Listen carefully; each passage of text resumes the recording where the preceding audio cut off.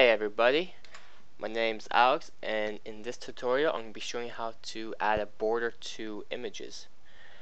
And so all you have to do of course is grab an image, could be anything. So I will grab, uh, okay I can grab this image right here. Zoom out, make it a bit smaller. Oops.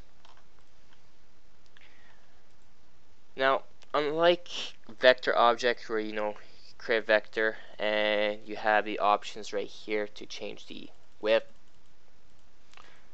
uh, etc we don't have that for imaging. So all we have to do of course um, of course this does not always work is click on mask or click on the image and up here there will be mask. So you click that and then you click black and or any color could be red, green, blue, mauve, brown. And now you have the option of changing the border.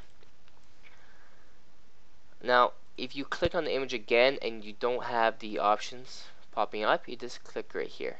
Edit contents or sorry edit clipping path and you could adjust the path. Sadly this does not always work you could change the width. Um, I wish it did but anyways if you want to use this um, then you have to use create vector object and then slowly wrap yourself wrap it around the image.